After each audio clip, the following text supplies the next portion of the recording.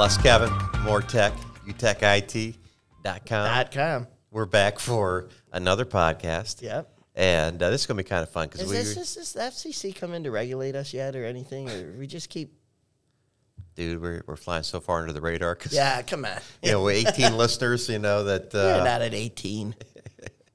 With a with a name like Les Kevin, it more tech. It Yeah. should it should have more than. did, did you did you hear that voice? That, that's the voice of one of my favorite partners. And, and we'll, we'll get into introducing him in a second. But the reason I wanted him back, Les, and I think he's been on here or there before with us or little snippets of stuff, is that uh, we get rec- called on all the time as a company, right, to invest money in sponsorships and programs and advertising and all this. And, and we've heard, we've said it to our customers. We're looking for uh, the transactional stuff doesn't excite us. We're looking for partnerships, right? Yeah. And we want somebody that uh, we can align with that uh, looks out for us and has our back, and we can have their back. And it, that you throw out ideas and you try different things, and it may work, they may not work, but you're having fun doing it, and you're not afraid to retrench and go back and come up with something. And so that partner is uh, Intersport, and Rocket Mortgage Classic, that uh, we're so fond of, right, Christine? That's right. It's been fantastic for, for us and our clients.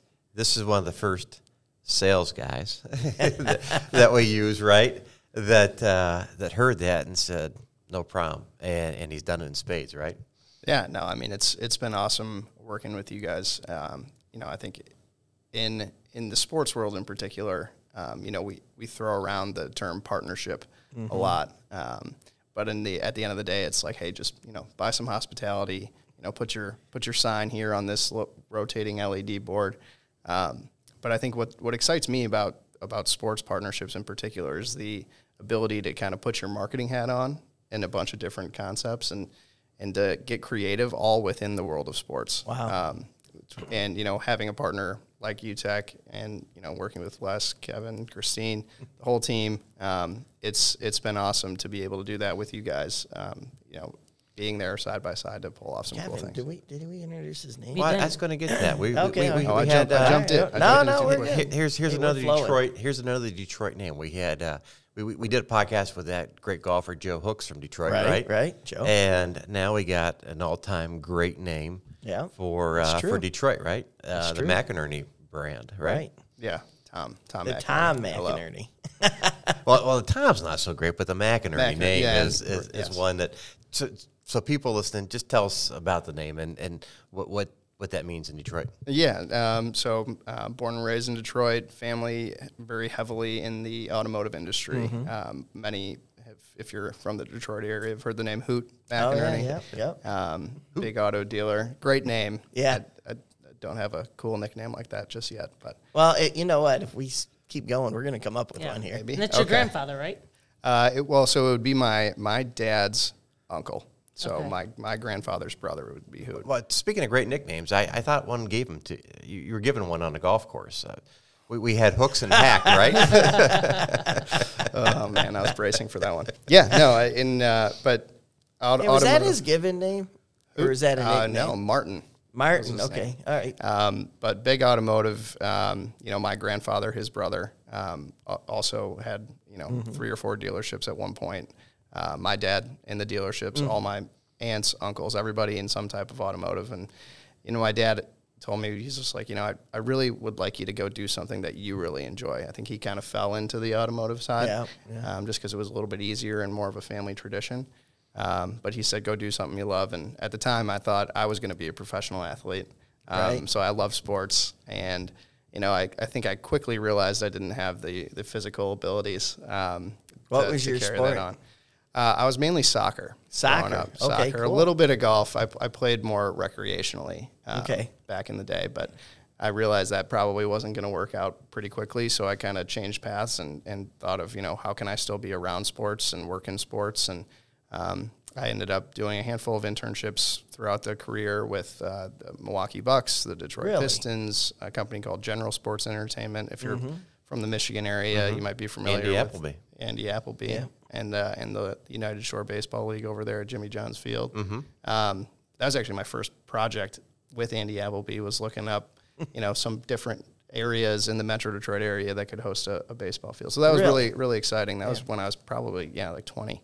I, I don't want to plug him too hard, but ha- that anybody needs to go see that stadium. It's a really cool environment. Had the chance Yeah. to see that this uh, really get involved with this uh, this fall and see that. And then I, I remember Andy from the Pistons days. Mm-hmm. And he's uh, he, he's a good guy in our business. There's not always good guys in this business, right? There there's a couple characters, Yeah. but he, he's a good dude, isn't he? Yeah, no, I, I really enjoyed working with Andy and, and spending time with him, and it was great to kind of move back to Detroit after being in Chicago for a while. He was one of the first people that reached out and said congratulations about the new role, and with that uh, being taken uh, at the Rocket Mortgage Classic, so really exciting. awesome. Yeah. So you're growing up, the golf thing. How did you get en- engaged? Because because you're going to be a professional soccer player, but I also heard you say you enjoyed the golf. Yeah, uh, golf has always Pretty been. at it. And Is he's yeah, he's very good. Uh, well, We give him a hard time, but he's really the good. other Yes. guy, the other guy who was around was better. But um, no, my my grandfather, and I think I might have told you guys a story a while back, but um, he at one point worked at the uh, executive committee of the USGA. Um, So he was on the green side. Um, he was he's in the Michigan Golf Hall of Fame. Actually, his name's Tom Chisholm, so that's on my mother's side. So named after him. Um, and I remember going to a bunch of tournaments with whether it was the Ryder Cup at Oakland Hills um, back in the day, PGA Championships at Oakland Hills, or you know we would even go down to Pinehurst, and he took me to a U.S. Open down there. So those are kind of my earliest memories. Um, so I, I really fell in love with the the game of golf and kind of what comes with it. Um, you know, I think it, there's a lot of personal connections that you make throughout the game, whether you play, who you meet, um, and typically really good people. I think you you understand a lot about someone when you play golf with them. Um, and I think I was really lucky to to have those experiences when I was younger and see how my grandfather treated others. I think one of the things that made me really want to get into sports in particular um, is when he had some tickets to a suite and he was walking around and saw a mom with her she was pregnant she had two young kids and he goes hey you know why don't you take these tickets into this suite instead of instead of Oh, me? And i was like wow that'd be so cool to be and the look on their kid's face her face just the relief was was really awesome and i was like wow to be able to do that to Yeah. you know one day in the career would be awesome and you know i've been able to do that a couple times at at the rock and That's orange classic the last couple of years so it's been exciting Well, that's something that uh, anybody that spends five minutes around you understands that uh, you understand. It's, it's about creating customer experiences. It's about creating special experiences and opportunities for people. And I think that's what uh, makes a partnership so great. We asked Christine to come in because really she's the one that's been executing these plans with you. And, and she's like, ah, what a guy to work with, right? It's just it's easy. I mean, it's it's the best from from my role in in working with you for an event this large and bringing in customers over multiple days and making I don't have to worry about anything. I know I know the tickets are going to work on their phone. I know they're going to be able to get in the gates and find find the hospitality suite. I know they're going to be able to get food and drinks, and it's going to be first class, hundred percent across the board. Like it, it's it's easy because I don't have to worry about anything. Yeah, Working with well- you guys is great. Well, I, I would say the same going with you guys. It's fantastic working with you. I'd you know I'd send Christina a text and say, hey, you know, we need a we need a printer here Yeah. tomorrow, and boom, Boom. it's done. Um, you know, I think that's that's the type of service when it comes to partnership, you want to provide that service more. Um, you know, there's some partners that you might have that you would be like, you know what, I'll get to that one next week or Yeah. something like that. But when you have a true partner um, that you're working with, and you know, I, I would certainly say the same. in working with UTEC, it's it's awesome to to see that level of, of client service that you guys Yeah, put we into your work as appreciate well. that. I know our guys love working it. They just love it. You know, they they get in there early, and you know, some of our technicians are down there. They're helping other guys troubleshoot, and Jason and Jason and Chris Yeah. are, are rock stars. Oh, yeah, Heck. They love And this it. year you uh, you added a little little more of our technology, right? With the uh, with the interactive uh, Aquos Board whiteboard. Yeah, it was Yeah. fantastic. So we we were trying to get a little bit creative on, on how we could engage our partners while we're at the tournament and talking about next year's event. Um, so one of the things that we did was we worked with a cool company called Party Shack. Um, they they really build out these really unique trailers, cool. um, and they you know totally custom made. So one t- one side will be entirely glass, the back would be you know seating, refrigerator, Mm-hmm. air conditioning. So something that you'd you know you'd see at a golf tournament, but typically it takes months for us to build. So with them. Um, we were able to do something really cool where we brought one of them out, put it right on the 18th tee Yeah, right, box, right. We brought in um, the touchscreen where we were able to display all of our options for 2023 Rocket Mortgage Classic hospitality and sponsorship and pro am, and it was great. We brought in, you know, I, I would say probably 200 plus um, clients into the space to see it and Tom, about that next year. space just looked so cool. It was crisp, modern. It tech. It, it, ju- it was fantastic. Yeah, it was awesome. I think a lot of people loved it. We actually had a couple reach out and say, "Hey, can we get one of those instead of our suite?" And I was like, "Well, I need you to stay in your suite." but uh, but no, it was it was really cool, and I think they're doing pretty cool stuff in, in the golf Yeah. space too. Especially now when you think about you know how expensive everything is to build and the timelines that it takes to build things. You know, having a company It, like it's almost like it was like um. It looked like it might have been like a 3D printed modular. You know, it was just it was so cool looking, and, then we appreciated having our technology in there because you could highlight it, you could see through the glass windows, and so I, I was pretty proud of that. Mm-hmm. Yeah, I, and I think that was I just to talk on partnership. I think that was one of the things that you know when I was thinking, okay, how do we do something cool in a space like this? Mm-hmm. You know, Kevin was the first person I called, and I said, hey, do you have anything that would fit? You know, kind of this idea, and it's a lot of We brain, wanted to put an brainstorming 80 inch board in there. And you were like, no, let's do the 40. Like, we need something mounted. Take Yeah. up the whole work. side of that. Yeah, um, but I I mean, just bouncing off ideas and coming up with solutions Yeah. together. Um, I think you know I, the whole team here at the table is really open to those ideas Mm-hmm. and, and figuring out as a group. I know our clients; they just appreciate the heck out of it. And we're, we really like our spot um, over there on uh, 17 Green. It's it's fun when you look down and you're you're looking down right on the green. And actually, we had a conversation about this this other or the other day that that's actually going to get moved back a little, right? Because Yeah. the players were we were a little too on top of the. It wasn't because we were loud or anything. No, right? well, no, you guys were great. Um, I think it was the neighbors, maybe. Um, but uh, no, it's it's interesting how they place those structures. Uh, you know, they'll give us the PGA Tour will give us a guideline of saying it has to be you know this far away from this green in particular, or this far from this one. Um, but on par fives, it's unique because players can kind of take aim, you know, at it, and Yeah. then get a free drop, and and they do, and they on that do, hole, and because we've had multiple golf Yeah. balls in our cabana. Yeah. oh, did you, did you give them back, or did you guys get to? They well, you gotta like and, you yeah. gotta freeze because everybody's like, "Don't touch it, don't touch it," and then you gotta Not a Happy Gilmore moment when Yeah. it's on No, your foot. right. right exactly. That's good. What Um, blows, but blows yeah, no. me away though about that is that you know you got a professional golfer. They're like within a few feet, and they're always asking me for advice. You know, hey, you know, Les, how should I play this? This you know lineup. And of course, I got to help them, and you know, and they don't. I mean, I just do it out of generosity, but you don't have that kind of any other professional sport where you, you know. You don't see Jared Goff coming up in the stands asking me. So, so, so you're talking about that. We're being serious. Uh, I know you're joking for the people that don't know you, but uh, that's one of the neat things about the Rocket Mortgage Classic. They create these unique opportunities with the pro am. So, so you get to play with two different pros. You do nine holes with each, but you know that's one of the few. You can't go play with the Lions. You know, out there you'll get killed. You know, if, well maybe not the Lions, but if eh, it was the Jets or Giants or somebody like that. But it, it, it's fun to be walking right next Yeah, to you're inside the ropes. Yeah, I mean, you can't do that. You can't sit in a dugout. You can't sit, you know, in a penalty box with hockey guys or a bench. It's it's the most unique. I mean, no other sport can you do this. And Yeah. it starts off with the with the uh, the drawings, the pairings party. Yeah. I mean, you guys do a fantastic job. I mean, there's celebrities left and right. You know, it, it's just a it's an unbelievable event. It's- Truly. It's, a really cool experience for anyone who hasn't participated in a pro am. I think, you know, like you guys mentioned, it's probably the only sport that you can interact with a professional the day before they're about to go watch, watch them on TV.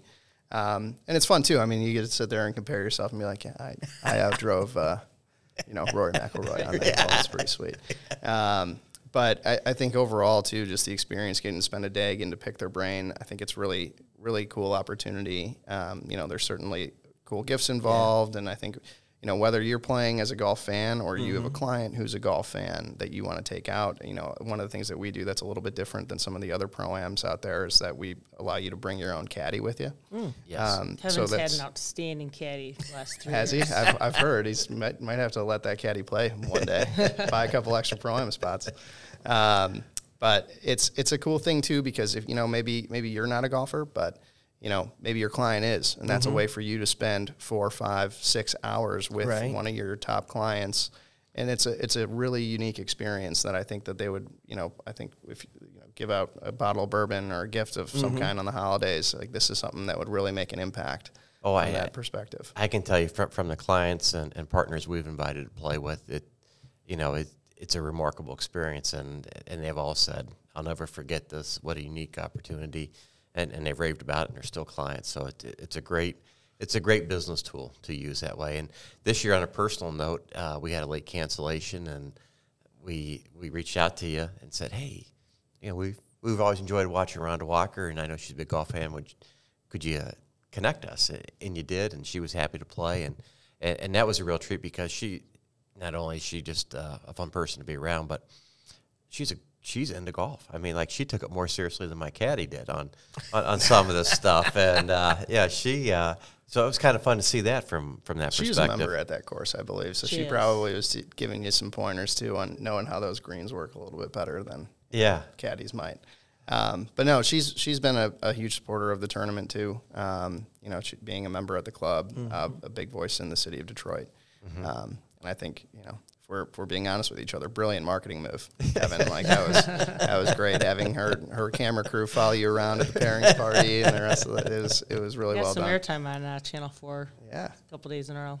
Yeah, well, no, it's it's all good, and, and again, we, we love it because it's Detroit, and and there's a, so many good things going on down there, and uh, I think the Rocket Mortgage Classic's been a huge catalyst for highlighting what's going on and reminding people that we got a lot of good stuff going there, and, and she's a big believer. But the Detroit Golf Club, outstanding golf club, great course to play, uh, wonderful people to work with too. I, I hear. Yeah, no, the, the course has been fantastic. I think, um, you know, when you look at bringing a PGA Tour event to a facility, there's a lot of work that has to go into making sure that it's it's up to up to par, if you will. Um, and I think that there's a lot to be said with the with the grounds themselves, where the you know the course is actually playing, but the clubhouse too, and making sure that it can actually sustain that. Um, making sure that you have the right amount of property to actually build out all these structures. I couldn't believe how many structures are that that get built out. What, Yeah. what, that's what it takes the membership. I mean, they, they've kind of turned the course over to you guys, right? For about a, what a month leading up to it, forty five days. Yeah, yeah. least? Well, I mean, they can they can play certainly throughout. But the um, I'd say structures up until the week going of, up. but the structures start going up. Yeah, about about two months in advance, and you know it comes down faster. Um, and this is you know it's in the in the middle of their golf season too, which is I'm sure if you you know were playing at your own golf course, you'd really not love that. But I think everyone is behind it. You know, with the mission on, of the you know that Dan Gilbert set out to do is really end the digital divide. in Detroit has that had that vision to bring an event within the city limits, which is if you look at an- every, any other PGA Tour event, it's pretty rare to see it within city limits because a lot of these courses that they'll play are out in the out in country clubs yeah. in the Yeah. suburbs. And I think D- Detroit gets, for people that haven't um, come to see some of the revitalization of, of the city itself, um, kind of gets a bad rap.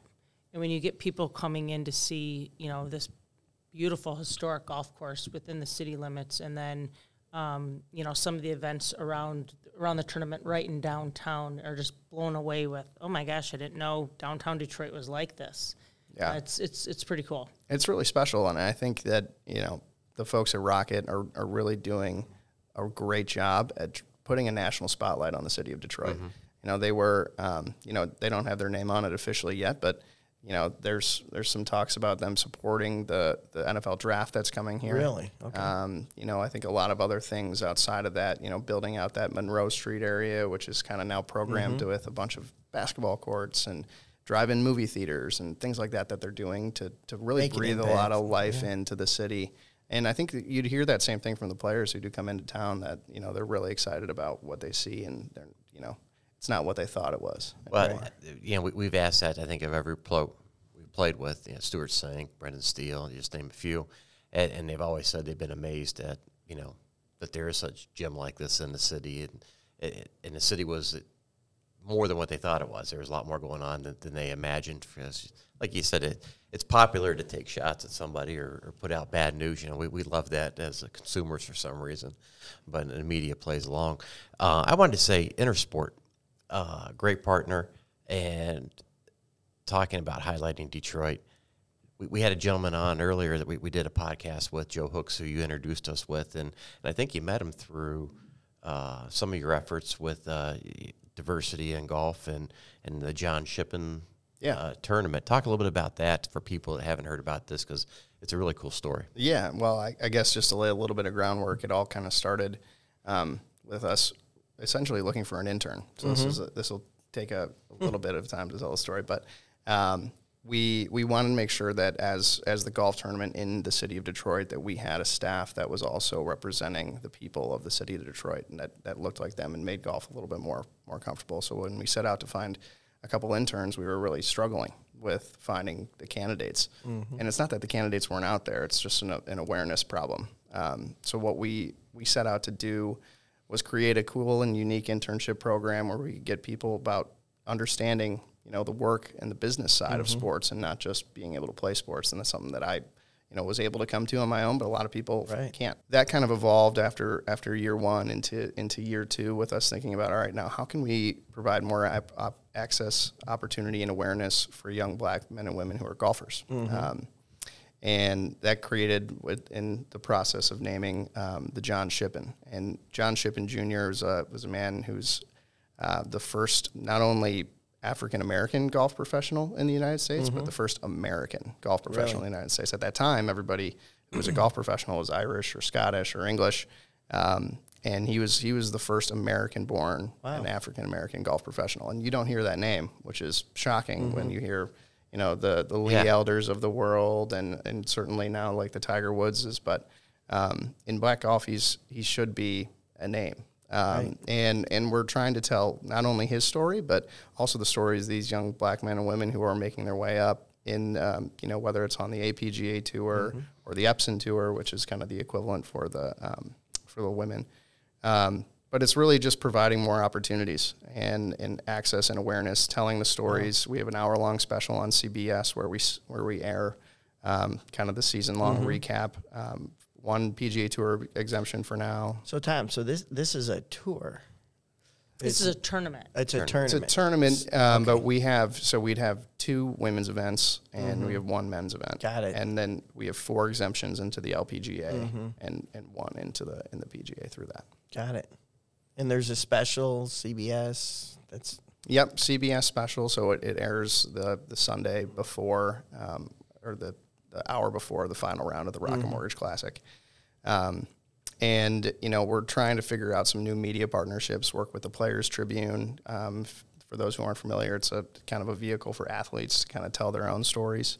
Um, so we did a partnership with them last year that we were really excited about. Talking with other YouTube Mm-hmm. creators and distributors about creating some more content around the John Shippen to really just again, you know, help tell the story. I think if if Build the people- awareness. exactly. If, if people listen to to Joe's podcast as well, I think they would you would agree it's a fantastic story and this guy is great. But how can we hear more of them? And that's mm-hmm. that's really the mission of the John Shippen. At the end of the day, is to make sure that that these phenomenal athletes and great people get the get the chance to tell their story. and get a shot too. Exactly.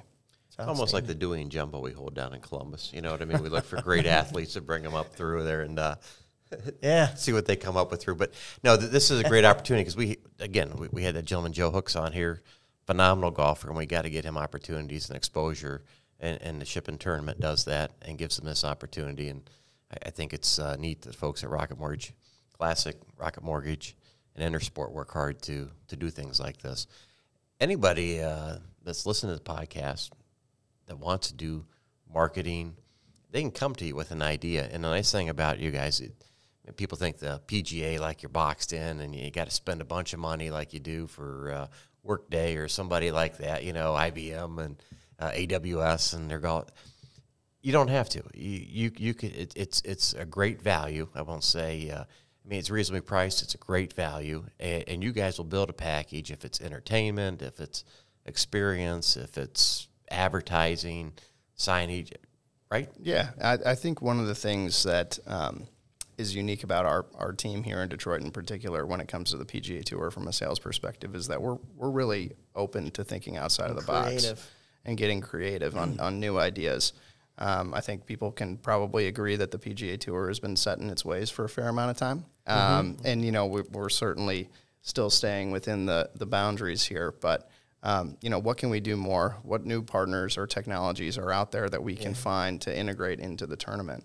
Um, you know, I think one example is using it's a platform called Digideck. It's a software that helps us with our presentations. So just you know, little things that kind of help get us up a level. But yeah, at the end of the day, I think in, in comparison to other sporting events like the Lions or the Red Wings or the Tigers, where they have their stadiums and they have their signage and kind of that's that's that. We have like this is the kind of suite we have. This is what we have. I mean, you Yeah. guys have from just like the Cadillac Lawn area to the hospitality suites that we're in to the 1899 Club. I mean, there's a lot of different areas that, Mm-hmm. depending on you know what that customer's looking for, right? That you can that you can talk about. Exactly. I think, you know, one example of that is this past year we had a, a, a partner in Lineage Logistics that came to us and said, hey, you know, we, we love all these options, but we kind of want to have a couple more people attend and we want it to be more unique. And we're like, okay, well, let's let's put our thinking caps on. And, you know, Lineage is a big distributor of, of, of food and um, they have a ton of warehouses. So we what we created was um, the Lineage warehouse. And what we did was essentially carve out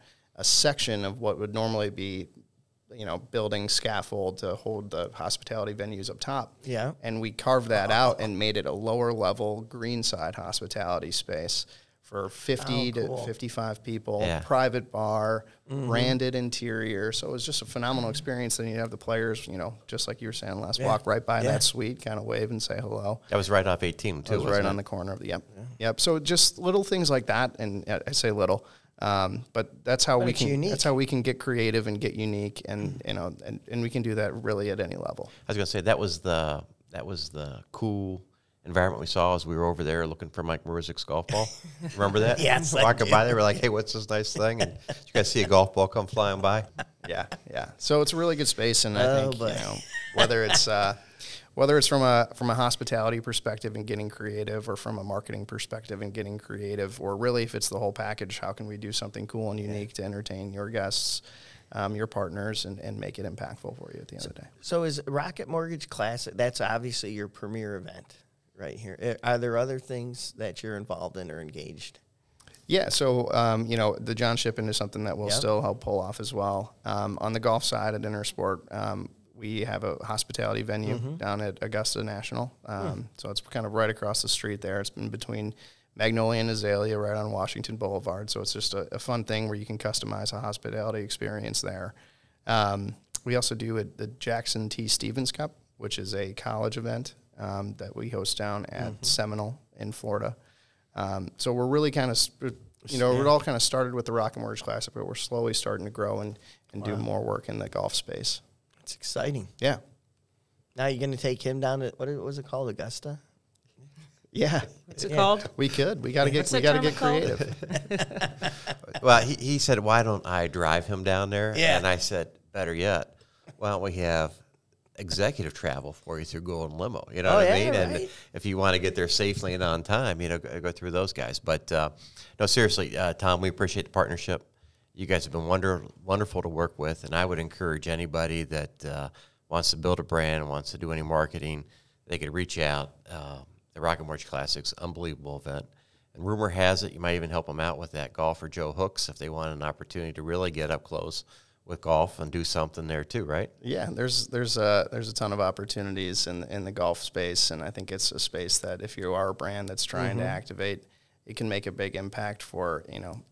I don't want to say not a lot of money, but, a, but certainly a reasonable amount of money. It- Um, it's value driven, it's- and, it's and that's what it is. I mean, and and it's relationship based and it's a it's a lot of good things. So I'm I'm gonna kind of help out from an advising side on, on some stuff with some uh, some local talent um, in, in the golf space and. Um, we'll see how that all goes, but I would echo the same thing. You know, anybody who is listening, I'm sure they're already a client of UTEC. If they're not, they should be. Um, but you guys have been have been phenomenal to work with. And, and And what are the appreciate it. dates again for 2023? Yes, it is um, the Ju- June 26th through July 2nd thank this you. year. We'd have been So, remiss in not Yes. talking about Yeah, that. that would that would have been a bad one. But, you. but now's the time to people start planning for that. They need to get involved I'm, now. I'm already create- I'm already working with the team at uh, at Intersport planning for us for next year. Yeah. yeah, but they need to get involved and, and create things before the inventory's gone, right? Yeah, yeah. I mean, I, I think uh, we were full sellout last year, um, and we expect the same. Uh, you know, Michigan's uh, is a big golf town. People people tend to forget that with, with all the football that's going on, at least this time of year. But um, yeah, reach out anytime. We'd be happy to talk through some cool, unique ideas. all his stuff, all Tom's contact information will be up on um, on the board after the podcast here, and we can, I can always get, you know, people in touch with them as well. yeah. It's Thank awesome, you, Tom. Tom. Thank you for getting it. Appreciate Thank you for being you, Cheers, guys. and thanks, Intersport. Thanks.